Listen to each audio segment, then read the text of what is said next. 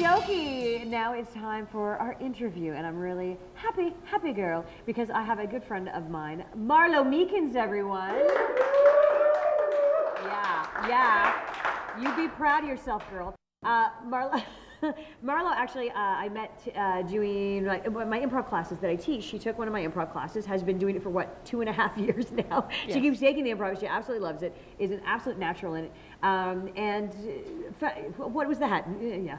Uh, and uh, the thing is that your career, one of the reasons that you started taking the class is because of your career, which is in. Again, like I'm not even sure if it was. Car- no, it's not cartooning. It's not animation. It's what is it exactly? Um, I okay, so I'm just like an artist, a cartoonist, I guess. Okay, it is a cart- And I have worked in pre-production animation, which isn't actually the animating part. It's, the drawing the- with the yeah, pencil. right.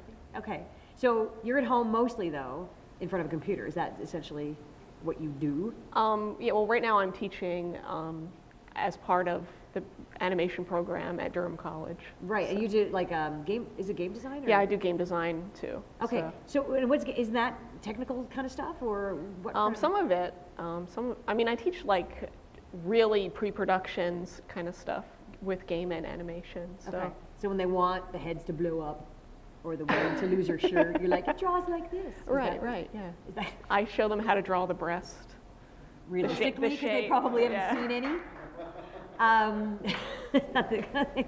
now, also, it was kind of cool that you married a Canadian. You are actually an American Yes, I am. originally. And what part? It was Pennsylvania, wasn't it? it? Was, I'm actually from New Jersey. oh, no kidding, Jersey. Yeah. Awesome. But you grew up like so you're there, or now why was it Pennsylvania's in my head that you? Um, that's where I went to college. And, yeah. Oh, Okay, so being American coming to Canada is always a fascinating thing.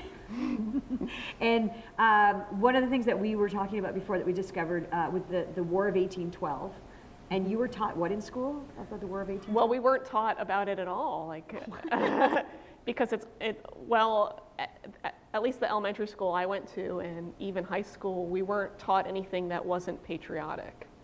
Okay, and so the So- fact that the Americans did not win the War We 1812. barely even learned about it. Like it was just not. Yeah. Well, I was saying uh, uh, in another episode that I had friends in the states that they were either taught that they that the Americans had won or that it was a tie.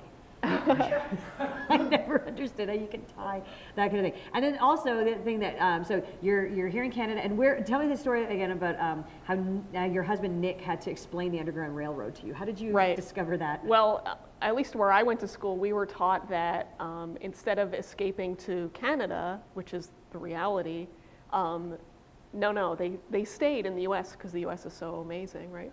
Um, they just went to other people's, people that were nice. They just went to their houses. And how did they get there? And they just walked there. I thought there were underground tun- like actual tunnels that they that led to other people's houses. That's what I've also heard Oh. too. Which is crazy. Yeah. I guess I don't know. Uh, so in, Well, America c- can do no wrong. That's what, I guess that's that's the whole point. or Right? the states, or whatever you guys call it. U.S. We call it the states and U.S. Well, we call it America. America. Yeah. so and now you're here in Canada, and um, do you miss anything about being in America? Um, I like the warm, the weather. The warm. The warm. Yeah. Warm is nice. I like the not snow, the non the not snowing. snowing. Yeah, the not snow. Yeah. Yeah. Oh, that's good. They, they, they have snow in Jersey, don't they? Yeah. Well, not as much. Not as much. Okay, Yeah. it's that. And then in terms of the animation, um, you worked on The Simpsons Mm-hmm. for how long? Just like a few weeks. Why, why did But you? everyone always uh, talks about that because it's like a brand name. Like Yeah. just their average person knows But why did why is. did you leave? Um, well, I, I left because um, my I have a friend that actually he created the show Ren and Stimpy, and he offered me a job Nice. working with him. so- Wow. Too bad that show's not still on the air. No. Job there, Marlo. Why you could have still been working on The Simpsons? What the hell's wrong? With you? She's American.